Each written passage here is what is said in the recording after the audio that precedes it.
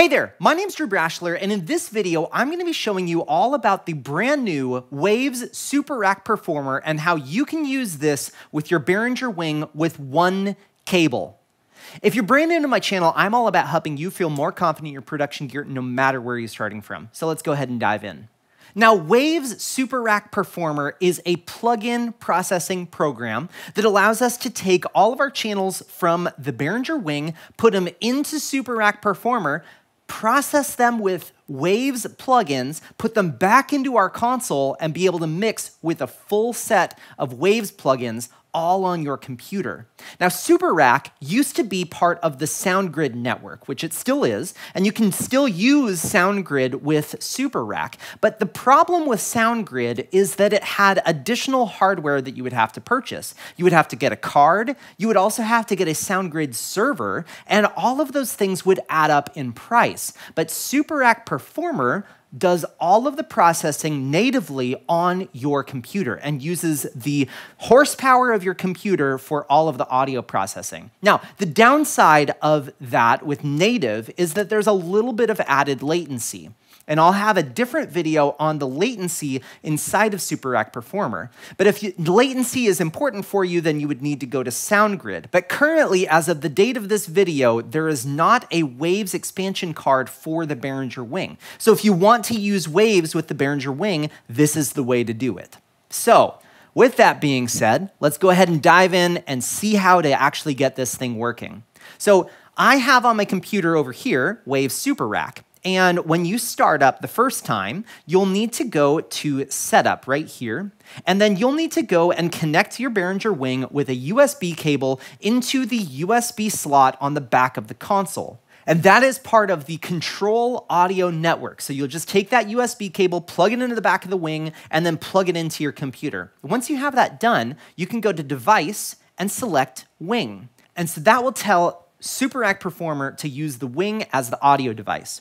The next thing that we can see here is that our sample rate is 48 kilohertz, and that is set on the console. The Behringer Wing is either 44.1 kilohertz or 48 kilohertz, and we can get to that by going to our setup and going to our audio tab, and it's right here, clock rate, 48 or 44.1.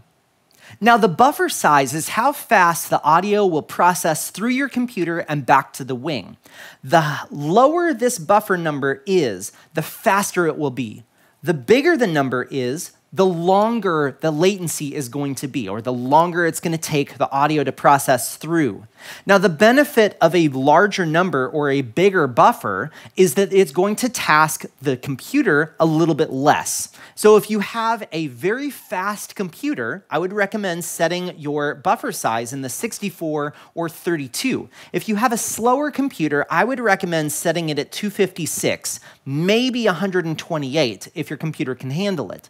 The more processing that you do on plugins, the more task the processor inside of the computer is going to have to do. For this case, I'm going to set this to 256 just because I'm also recording my screen. Once I've done that, I can then go to my overview. Now, if this is the first time you're using Super Rack Performer on your computer, you will need to grant access to the microphone for this to process the audio through it. If you accidentally clicked no, what you'll need to do is you'll need to go up to your Apple, go to System Preferences, then go to security and privacy. Go over to privacy, find your microphone, and unlock and make sure that Super Rack Performer is clicked. Once you've done that, you can then go back to Super Rack Performer, and this is ready to process audio. Now I have a microphone here on channel one. Check, check, check. Here, here we go. So we can hear that. And if we go to my patching, we can see that this is coming in on local one. Now, what I'm going to do here is I'm going to route my local one to going to Super Rack Performer on the USB audio. And then what I'm also going to do is I'm then going to take my alternate input and route that to be from Super Rack Performer back into the console. Now the benefit of doing this is I can set my channel gain on the main and then simply switch over to alternate when I'm ready to use Super Rack. So on main, I'm going to click here and select my source where this microphone is plugged into, and that's on local in one. And as we can see, I've already set the gain up top top here, check, check, check, and I have a full nominal signal. So this is a very healthy volume on this channel. And so what I'm then going to do is I'm going to go over to my alternate, and I'm going to press card one, where this is selected, and I'm actually going to go and select USB audio. And I'm going to select USB 1. Now, if you've gone to this page and you only notice that there's two selections that you can pull from, what you'll need to do is you'll need to go to Setup, and then over on the Audio tab on the right-hand side, USB Audio. And we can select between 2 8, 16, 32, or 48 in and out. So I'm going to have this selected as 48 to allow me to process all 48 channels going into Super Rack Performer. The next thing I'm going to do is going to go, to back, go back to my channel here, and we can see that I'm still on USB 1, and my local one is there.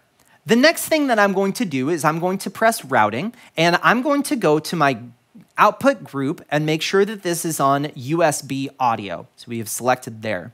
And we're going to unlock and press auto plus one. And now at this point, I'm going to select all of my inputs for my channels here.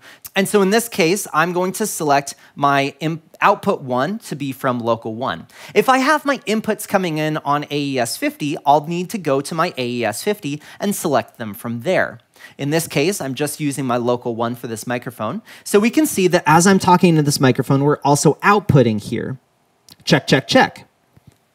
And so the very next thing that we need to do now is to go back over to Super Rack Performer and pull in where this microphone is coming in from. So over on Super Rack Performer, we can see that I have rack one here, and I'm going to press input. Select mono because this is a mono channel, and I would go to input one. And that is then going to automatically route the output to being on output one. So if we go back to my channel, we can see that this is on main. So this is the direct microphone that I'm talking into, into this channel. But over on Super Rack Performer, we can also see that I have a healthy signal here. So we can go in and take a look at my signal chain. So I have my F6, which is one of my favorite things to have at the beginning of my vocal chain. This is just doing a little bit of vocal cleanup. So it's removing a little bit of proximity effect that's happening. I have a low end roll off here. And then I have a C6, which is a multi-band compressor. I then have an 1176, which is a CLA 76, and then I have a RDeEsser, which is a great de-essing plugin. I then can then go back to my overview and I can see this and continue on to do the rest of my channels. Now, if I'm wanting to switch over to being from Super Rack now, I've already set my preamp gain and I'm happy with it. What I can then do is I can then just press Alt. And so now my processing is going from my channel of the microphone going into Super Rack Performer, coming out of Super Rack Performer into my computer here. Now, the benefit of doing this on the Alt is I still have the ability of adjusting the gain of this input, and then I can select between either direct without waves or alt with waves. Now, the benefit of using main and alt here is that if I'm on waves, I can still see my preamp gain and adjust my preamp gain as needed. Now, additionally, I can also set up a quick button to swap between my main input and my alternate input for all of the channels globally.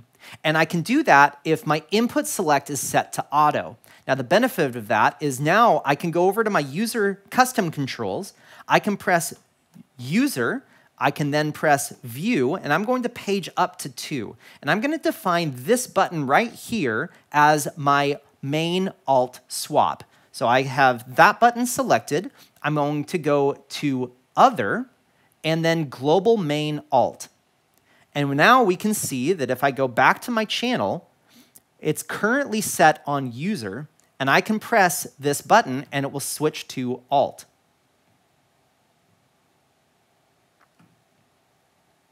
But one thing to note here is that if the input select is set to manual, it will always stay on whatever it is set on here.